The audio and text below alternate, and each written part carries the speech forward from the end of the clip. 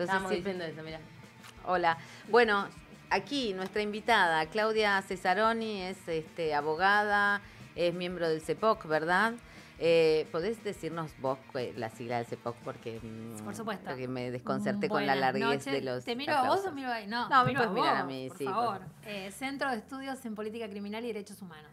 Muy bien. Este, bueno, profundamente antipunitivista. Nos conocemos hace mucho tiempo, aunque nos hemos visto poco en el, en el último tiempo, pero va, para mí siempre, eh, um, bueno, con Claudia me llevó a conocer a chicos que estaban en este mm, condenados a prisión perpetua en- dentro de cárceles comunes, Devoto. en Devoto, que habían sido condenados antes de los 18 años. Y las historias realmente son, bueno, eran, porque muchos de esos chicos fallecieron. De los que vos conociste, falleció uno, Claudio Ah, Núñez, Claudio. que tenía la historia más dura. Mm. Eh, vos escribiste una nota que yo usé mucho, porque era una nota... Me alegro, me alegro sí, haber absolutamente, colaborado. una nota, una enorme, eh, muy conmovedora, muy tierna, muy dura. Mm. Eh, bueno, nada, que contaba las historias de ellos más allá de las causas, ¿no? Claro. Eh, sí, de, esos tres que vos conociste, eh, Claudio se ahorcó una vez que ya salió en libertad. Y yo, a mí también me estremece porque una. Bueno, fue una, una cruzada una- tuya, ¿no? Un- No, pero digo, fue una muestra de esa muerte de él, de que el Estado no solo, que el Estado hizo todo lo, lo peor que podía haber hecho con un ser humano, desde que era niño prácticamente lo hizo con Claudio, ¿no? Y una vez que finalmente logró la libertad, no pudo garantizarle cosas mínimas como un trabajo, que era lo único que él pedía, ¿no? Y había otro de los chicos que tenía problemas Lucas. de Lucas. Lucas salió, entró, salió, entró eh, de la cárcel. Sí. porque también tuvo muchas dificultades. Lo último, con él me, me hablamos cada tanto y es- tenía, había conseguido finalmente un trabajo estable que espero que siga conservando, ¿no? Porque, bueno, eh, con la ayuda del Estado, pero no este Estado, ¿no? ujú. Eh, bueno, has escrito bastante en estos días sobre esta, este proyecto de ley que se vuelve a presentar como es como un como un déjà vu, ¿no? Como un bucle permanente, la Sí. idea de bajar la edad de punibilidad de, eh, de los chicos y chicas que cometen delitos. Eh, bueno, y esto va en contra de tratados internacionales, por ejemplo. Sí, a mí me parece que hay que enmarcarlo además en la política general de este gobierno que destruye todo lo que es el Estado social Mm. y solo ensancha el Estado penal, ¿no? O sea, esta es una más de esas eh, acciones. Y otra cosa que me parece también que tiene que ver con, con algo que este gobierno hace, que es, en este caso, terminar, o sea, des- destruir la etapa de la adolescencia, ¿no? Eh, nosotros, mm, en el último siglo, se ha construido la noción de que entre la infancia y la adultez hay un momento, que es el momento de la adolescencia, que Claro. tiene particularidades, que tiene muchas dificultades, que va más o menos entre los 12, 13 y 18 años. Bueno, vos fíjate que el gobierno se plantea bajar la edad de punibilidad a los 13, tiró por ahí lo de votar a los 13, Sí, que también total. es un delirio porque el pibito de Sí. 13 años ni siquiera votaron todavía en un centro de estudiantes, ¿no? Digamos, Total. están entrando a la secundaria. Total. Este, esto que alguna vez dijo Venegas Lins de, bueno, si un padre quiere que el hijo a los 14 vaya a un taller, ¿por qué no puede ir a un taller? Entonces también bajar la edad para empezar a trabajar. Sí, puede, y dejar los estudios. Capaz que van a bajar la edad de los estudios obligatorios. obliga- exactamente. Y no sería raro que digan, bueno, si una adolescente de 13 años quiere tener un hijo, ¿por qué van a venir estas abortistas o estas aborteras o estas Total. feministas a decir es una nena? Si ella quiere tener un... es libre para tener un hijo. Entonces hay un borramiento de esa etapa de la adolescencia. Y en este caso, encerrarlos a los 13 años. Eh, sí, mira, hay un montón de argumentos eh, que quienes nos oponemos a la baja tenemos en pr- primer lugar que es inconstitucional porque nosotros tenemos una convención que es la Convención sobre los Derechos del Niño que tiene jerarquía constitucional, digamos, tiene, es más importante que cualquier otra ley. Este es un proyecto que es peor que la ley vigente, que es una ley de Videla. Total. Eh, nosotros lo ¿No decimos... se, no, ¿No se bajó otra vez la, en, en algo? No, el- eh, a ver, nosotros tenemos ahora una ley que es del año 80 Ujú. que estableció la edad de punibilidad en 14 años. Ah, claro, es baja. Eh, no, pero en mayo de 1983, poquito antes del retorno democrático, Mm. todavía estaba la dictadura, pero faltaba Sí. poco para las elecciones, eh, se elevó a 16 años. Ah, mira. Entonces hace 40 años que está pacíficamente en 16 años. Ha habido intentos de Mm. bajarla. De hecho, un elemento que, que es bastante notable es que la última vez que se intentó, y lo intentó también Patricia Bullrich, siendo ministra de Seguridad de Macri en el 2019, Sí, presentó un proyecto que la bajaba a 15 años. un añito. No, dos años de A dos, diferencia. claro. Ahora la quiere bajar a 13. No, no, un año desde Ah, los 16, menos. sí. Bueno, y en, exacto. Y en 2017, el mismo gobierno de Mauricio Macri, pero con una eh, iniciativa de Garabano, que era el ministro de Justicia, a Mm. 14. Entonces vos decís, Es como que 14, prueban a 15, ver 13. cuál, cuál pega. Exacto. O sea, no hay, hay, hay algo igual con la que cada vez que sale este debate hay una cuestión con la opinión pública, ¿no? Es algo que se instala eh, y que por ahí no está esta perspectiva, eh, no aparece tanto. Esto que vos decís de borrar eh, la adolescencia como momento clave en la vida de las personas. Digo, se piensa más en lo que hablaba Marta en la editorial, la seguridad, digamos, como que... Y yo te escuchaba decir que, que no es, no, no- el, el delito, digamos, los delitos que cometen las personas jóvenes, no tiene tanta incidencia en el delito general que hoy tenemos como país, por ejemplo. Es absolutamente minoritario. En la provincia de Buenos Aires, en, en los, eh, las, las investigaciones penales preparatorias, que son las, las causas que se abren en todo un año, el porcentaje que involucra a adolescentes que hoy son punibles, o sea, los de 16 y 17, es un 2, menos de un 2.5% del total. Claro. Eh, en todo el país hay unos 2.000, 2.050 pibes y pibas, pero son mayoritariamente pibes, varones, 94%, es absolutamente mayoritario, eh, que están de alguna manera alcanzados por el sistema penal. Es- Estamos hablando de 2.000, ponele Claro. 2.100. O sea, es un número absolutamente manejable. Vos- yo imagino así como un sueño. Vos podés ponerle, no sé, 20 trabajadores de sociales, docentes, Total. abogados, para que siga al pibe caso por caso, que, a ver qué quiere hacer de su vida, si tiene un problema de salud mental, si tiene un problema de adicciones.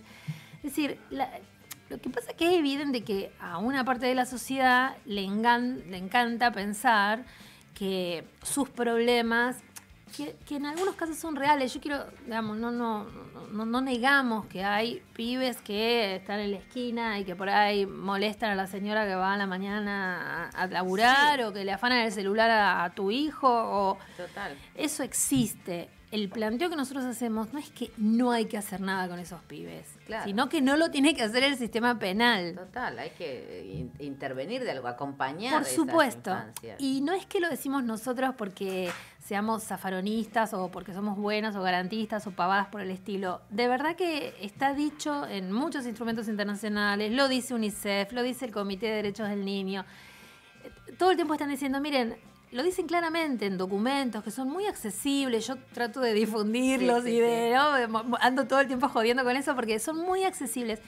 Y está todo el tiempo diciendo, miren, cuanto más tarde llegue un adolescente, y mejor que no llegue nunca al sistema judicial y sobre todo al sistema penal, Total. mejor.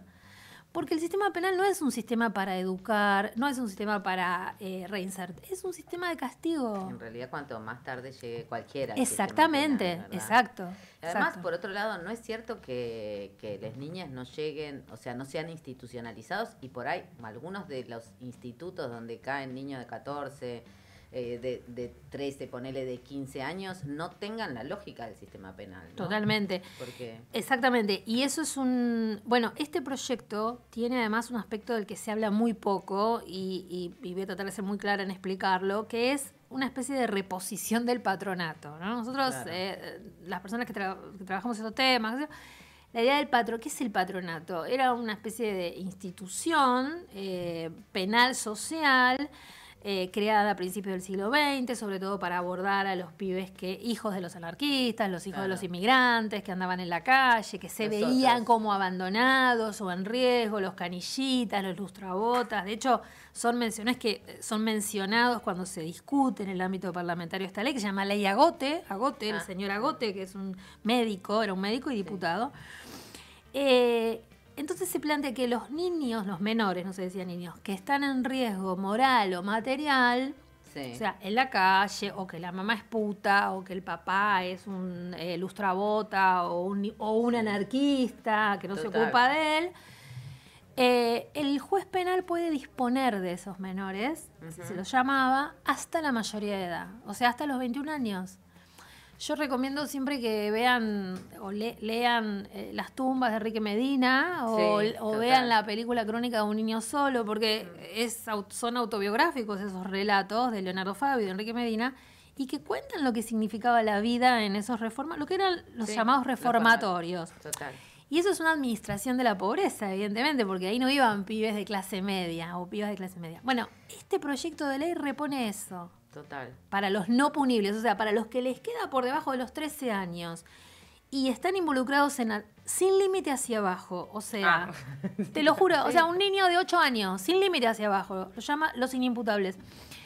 Y no sé, por ahí se están peleando en la calle dos pibitos de 8 años, o en la escuela uno le roba al otro, no sé, los útiles, lo que fuera. Y el juez entiende que, están en- que son peligrosos o que están en peligro, puede internarlos. Sí, sí, total, total. O si piensa que tiene una madre, mala madre. Eh, Bueno, por eso. sí, También. está- por eso digo, ¿están en riesgo o están en peligro o son peligrosos? Estar en peligro es que Ahora, es lo hay- que antes se llamaba como riesgo. Sí, se, se va, se conforma también una idea de- del niño como peligroso. Yo el otro día tuve una charla con, con mi hijo sobre cine de terror. Decía, a mí lo que más, lo que te, lo que te da más miedo en el, en el terror en general es lo más cercano. Ah. Parece como que se infunde un, un terror en la sociedad a las niñas, pobres por supuesto.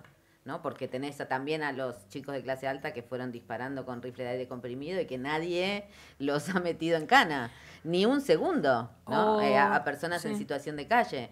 Digo, es, no es un destino en general para las clases altas este, es solamente un régimen para la pobreza y los que dan Exacto. miedo son esos niñitos que están desarrapados. Exacto. Y los muchos episodios que hay de los que no nos enteramos en Cantres, por ejemplo, de robos o de destrozos, son muy habituales y quedan y se resuelven al dentro. interior de esa de Sin que intervenga el Exacto. sistema penal, ni mucho Exacto. menos. Sí. Interviene un sistema de administración de justicia interno, ¿no? Por ahí alguien se va de ahí o se muda de lugar o lo sacan al pibe o lo que fuera, pero eso habitualmente no nos enteramos. Eh, ¿Y qué, qué pensás? O sea, creo que me vas a contestar, por ahí es una pregunta retórica, pero digo, pensando en que, en reponer que niñes, niñas y adolescentes son personas en formación, no es que no son personas, pero están en un proceso de formación, de aprendizaje, de equivocaciones, reaprendizajes. Y acá el tema es a acto de adulto, eh, pena de adulto, ¿no? Delito de adulto, pena de adulto. Claro.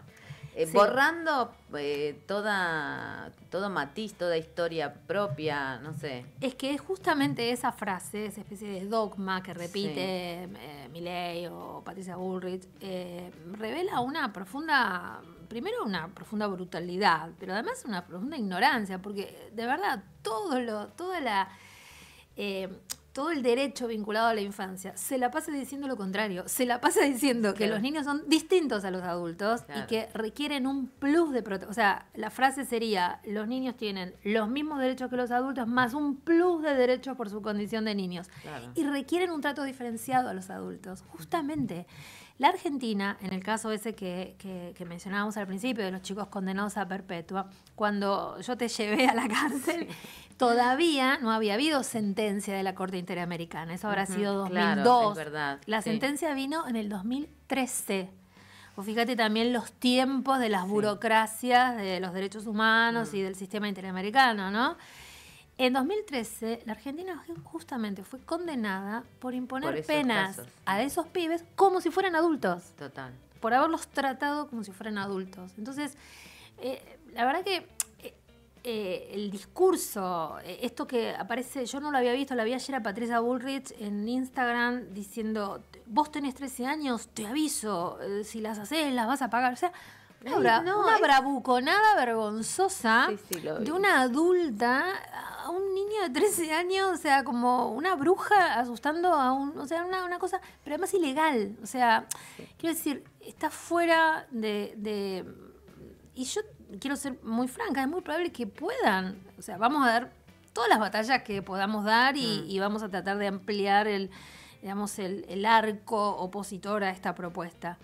Pero la verdad que habiendo visto cómo se comportó el Parlamento hasta Sí. ahora, con lo que le tocó decidir, eh, bueno, es una situación difícil. Eh, no, y es una situación difícil también porque, mm, digo, insisto, abrimos este programa cuando vos no estabas pensando esa, esa posibilidad de como limpiar la sociedad, ¿no? Como dejar afuera y que eso es algo, así como los ataques a las feministas o a las feministas vienen de ambos lados, la idea securitista de que se puede separar a cierta parte de la sociedad y dejar a la, a la buena de un lado. Totalmente. Es compartir, es como transversal y eso es muy desesperante. ¿no? Y, y, en esto que decías, yo te decía antes de, esta, de este borramiento de la adolescencia, yo también pienso, lo estoy pensando, digo, bueno, ofrecerles a algunos adolescentes, por ejemplo, votar, ¿no? Y a otros, o sea, los, del, los adolescentes del bien serán los que voten, mm. los ludópatas, porque también hay una construcción del adolescente que juega o que es un broker o que sueña con hacer dinero de esa manera.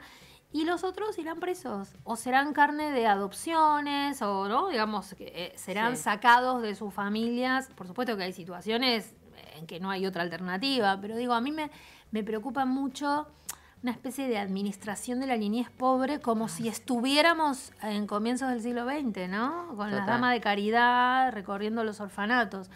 Sí, también una vigilancia, me, y también me preocupa la vigilancia sobre las madres, te digo. Por supuesto. Porque hoy... son, o sea, no en vano es el ataque al, a, lo, feminismos, no me quiero poner reiterativa, pero... No, no, hoy hablábamos en una, en alguna entrevista y alguien, la, la, la periodista me recordaba, yo no lo había notado, pero es así, cuando se hizo el ataque sobre las mujeres que llevan a sus hijos a las marchas, se estableció este protocolo. Y ahí también, ¿no? O sea, a nadie se le ocurriría cuestionar a un padre que lleva a su hijo a la cancha, cuando puede ser súper peligroso, porque puede haber un quilombo, una avalancha o gases lacrimógenos o lo que fuera, pero sí a las familias que llevan a, a sus hijos a una movilización porque no tienen con quién dejarlo o porque quieren llevarlo. exactamente, porque entienden que es parte de, de, su educación. exactamente. para mí es parte de la educación. Como hemos llevado toda la vida, eh, sobre todo los sectores de clase media, el 24 de marzo es como un, día, que vos querés estar y después será el 3 de junio y después ha sido otra fecha, pero es una fecha que vos querés que tus hijos vengan con vos. Entonces, ahí también todo el tiempo hay esto, ¿no? Eh, de, claramente esa división y eso está todo el tiempo construido por el discurso dominante y es muy eh, doloroso porque es una porque yo creo que también tiene que ver con el dolor que eso lo plantean con niños, ¿no? O sea, son eh, que están totalmente que son totalmente vulnerables y que ellos mismos lo digan. Fíjate que en, el, en la presentación del proyecto que hicieron, la primera, no, no el envío ahora a la Cámara de Diputados, sino el primer comunicado que firmaron Bullrich y Julio Levarona, decían una parte, eh, todos sabemos que los niños, niñas y adolescentes son utilizados por las bandas criminales para cometer delitos. Yo decía, pero si son utilizados, si vos estás diciendo que son utilizados, quiere decir que son víctimas. ¿no? y entonces lo que vos en lugar de cumplir tu rol de impedir que, mm. una persona pequeña sea utilizada, lo que vas a hacer es agarrarlo y meterlo en cana. No, es, Ahora, ahí también hay otra otra categoría, digamos, que organiza mucho el punitivismo, que es la categoría de víctimas, ¿no? Y que, y que siempre que hay una vuelta punitiva empieza como se revaloriza la voz de la víctima, ¿no? sí eh, que es, como complejo también. Pero cierta víctima. Vos sabés que hay. por eso digo, también de pronto hay unas. E, estas víctimas no, no cuentan. Hay víctimas que no son escuchadas. Hoy también escuché, eh, quiero reponer eso a Diana Márquez, que es de la Asociación Víctimas por la Paz, que es un colectivo de víctimas eh, que fue impulsado en su momento por el juez Mario Juliano, que era un juez, digamos, penal muy progresista que tiene una mirada bastante antipunitivista, aunque parezca raro porque era juez penal, y impulsó esta, esta asociación. Hay, hay pocos, pero hay. Los hay, por supuesto. Y Diana, que es ella víctima, no es que ella preside una asociación de ella es mm. víctima de un hecho muy grave.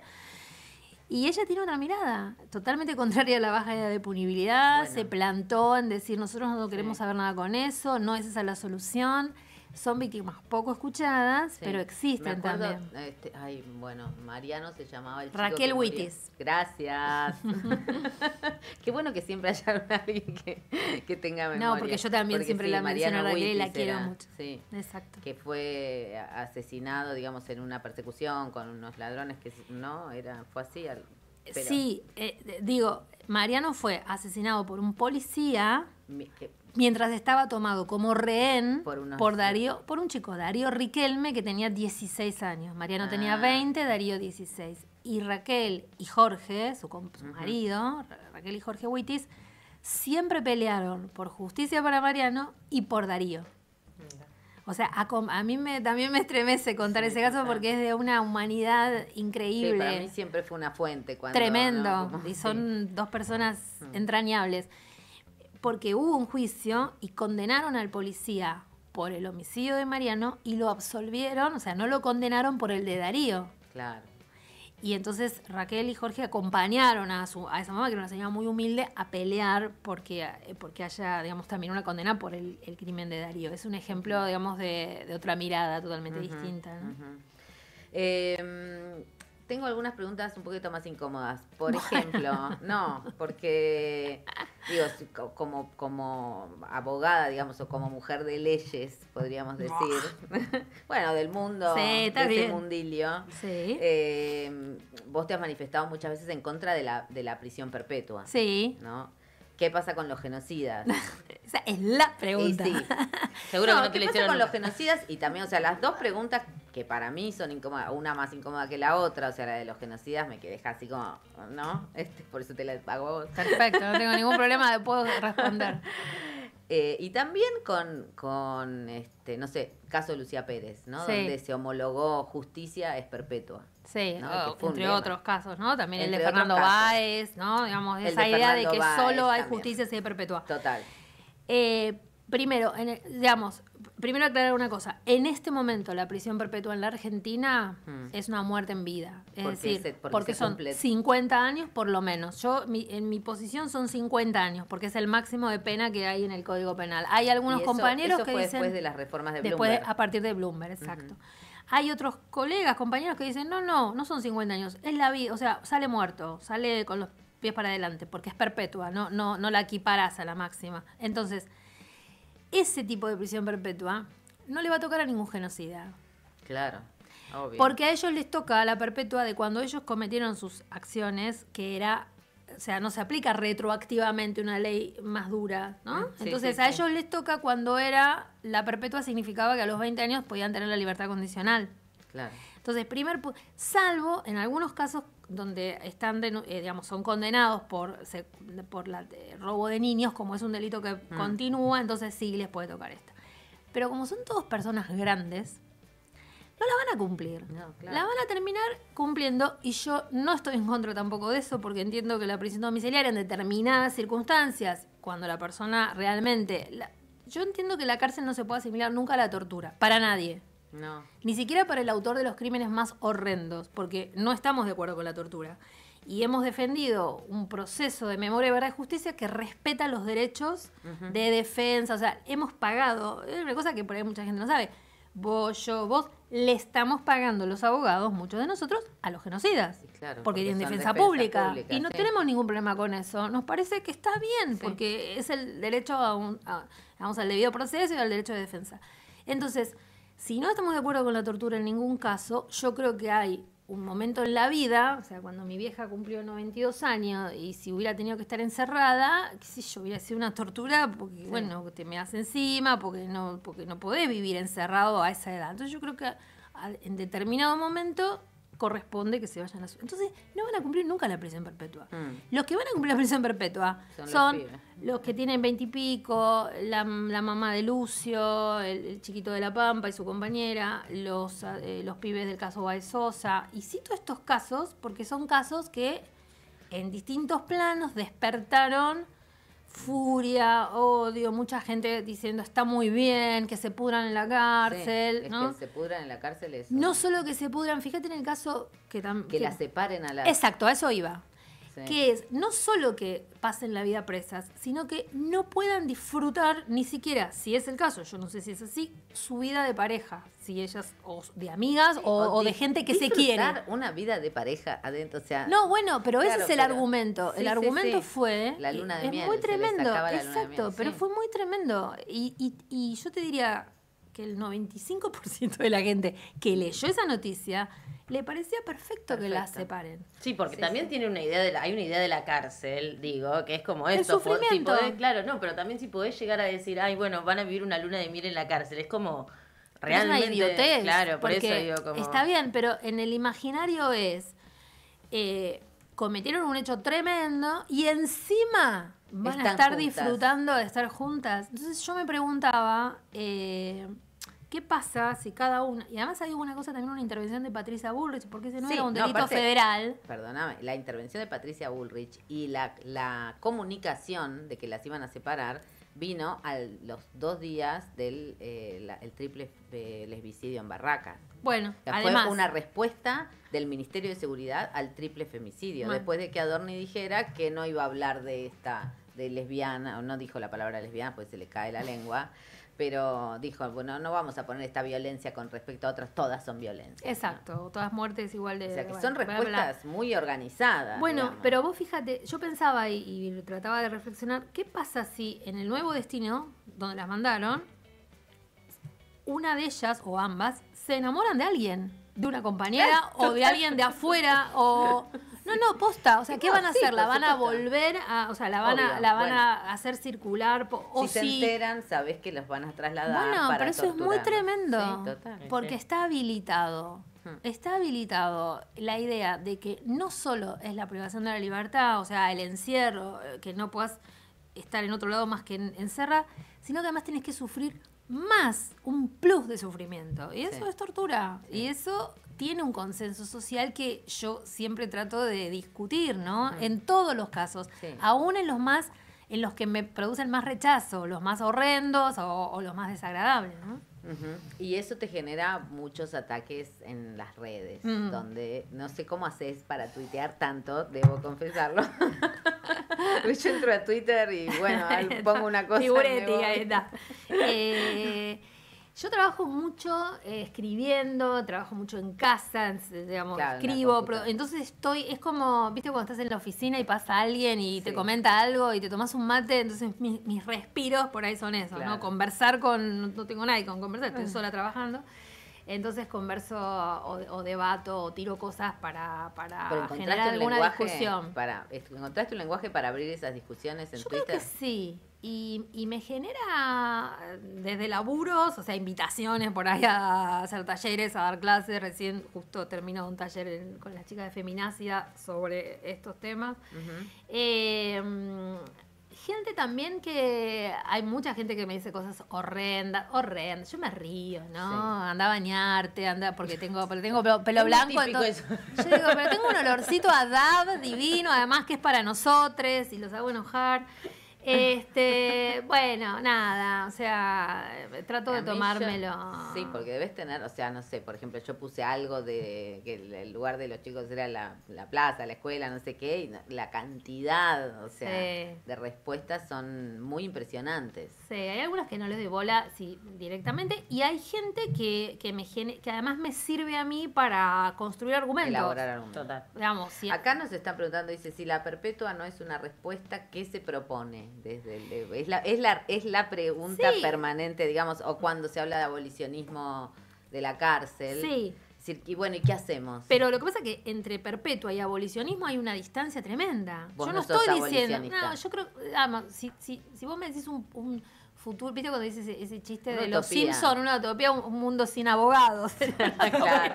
Bueno, sí, esa es la utopía claro. del abolicionismo Bueno. que no haya violadores. Lo veo muy difícil, Sí. sinceramente lo veo muy difícil, pero sí creo en una disminución, no una expansión cada vez mayor del Sí. sistema penal. Entonces, yo no digo que, que, eh, hoy sucedió un hecho tremendo, por ejemplo, en Córdoba, ¿no? No sé si lo vieron, una chica de 21 Ah, sí. años, que es un compañero, la mató. Bueno, yo no voy a ir a decirle a esa familia, no, mira, yo creo que este muchacho hay que... No. Ahora, Por eso te digo lo de la, la centralidad de la víctima, que es la que como que la parece que la víctima va a ser reparada según el tamaño del castigo. Es que eso es mentira. Claro. Porque eh, yo pensaba, por ejemplo, vos pensás los, los- el papá y la mamá de Baez Sosa. Se van a morir antes de que los chicos cumplan 50, pero por ley de la vida, Sí, porque sí, son sí. gente que ya tiene 60 años. O sea, los pibes van a estar 50 años presos. Es demencial eso. No, es y eso no, re- o sea, no repara, porque, sí, no, aunque hubiera pena de muerte, no repararía el dolor de que ¿no? Digamos, Sí. aunque... el- Claro, porque también el pensamiento sobre la reparación es No hay escuálido. equivalencia. Claro, bueno, pero tampoco se piensa. eh, cuando vos decías, eh, me sirve para Que elaborar no argumentos. repara el agresor, no repara el, el sufrimiento del agresor, no es lo que repara. No, Eso totalmente. Bueno, por eso digo, pero ¿cuáles serían las reparaciones? Esa es una pregunta. Bueno, por eso, pero digo, quiero dejar claro que no es que estoy diciendo que no deba haber ninguna pena de, de cárcel. Lo que digo es que una pena de 50 años es una pena de muerte en vida y que, bueno, yo te digo, a esta altura de la vida estaría contenta con que volvamos al Código Penal de pre-Bloomberg, Y porque sí, obvio. era un- una porque pena... hay una progresión de la y pena. una porque... expectativa Y, claro. y una esperanza, una, la, la gente... eh, Bueno, vos Claudia conociste- Sobrero salió. bueno, pero Lucas, Claudio, Sí, o sea, pibes que hicieron algo horrible porque ellos mataron gente, nadie lo discute. Cuando tenían 16, 17 años, no pueden tener, o 18, aunque tuvieran, fueran mayores. Hay que decir, esta gente ya está, digamos, está eh, imposibilitada de ser otra persona dentro de 10, 15, 20 años. O sea, no Total. pueden tener la perspectiva de que en algún momento van a salir. Eso es lo que yo planteo. No es que planteo cero cárcel.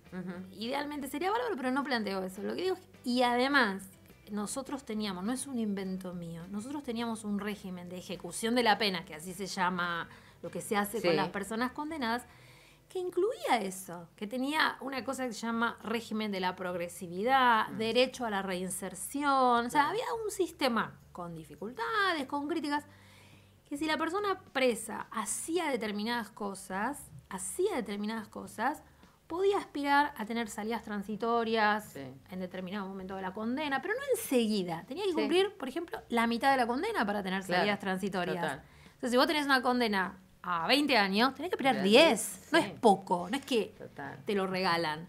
Y podías tener libertad condicional. Y eso, todo eso se ha sido dinamitado. En nombre de la seguridad. Y no sirve. Porque nunca les alcanza. ¿Viste cuando es te doy un poco más, te doy un poco más y no te alcanza y no te alcanza y me vas a pedir más? Bueno, es eso. La, la demanda securitaria no tiene límites. Total. Porque es imposible de, Cla- de es- complacer. Y es impo- Porque exactamente. la vida es riesgo. Exacto, y no hay, no es posible pensar en una sociedad en la que no haya delitos, en la que no haya violencia. Entonces, en un, a mí me gusta mucho un autor noruego que se llamaba Nils Christie, que ya Mm. falleció, un criminólogo. Él es una cosa muy sencilla, él decía, el sistema penal es un reparto de dolor. Sí. Es eso, el sistema penal reparte dolor. Y, dice, y yo soy un imperialista moral, yo quiero menos dolor. En esto yo me impongo a hacer todo lo necesario para que disminuya el dolor. Bueno, es un poco eso, ¿no? O sea, Claudia, te agradezco un montón Bueno, este rato. Eh, siempre es un placer y muy didáctico. Bueno, muchísimas parece- gracias. Eso Trato. me parece central en Gracias. esta. en esta Placer, gracias. Bueno, muchísimas gracias. Despedimos entonces con un aplauso a nuestra amiga Claudia César.